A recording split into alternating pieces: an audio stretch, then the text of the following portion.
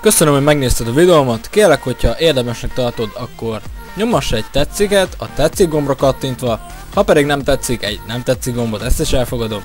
És ha már ennyire tetszett, és ezt is érdemesnek tartod, kérlek, hogy iratkozz fel a csatornámra, ami neked itt feliratkozás gombként fog megjelenni, és kérlek, hogy oszd meg még a barátaidnak is a videót, hogy ők is láthassák az én csodás művemet. Köszönöm, hogy itt voltál, találkozunk a következő részben is. Szia!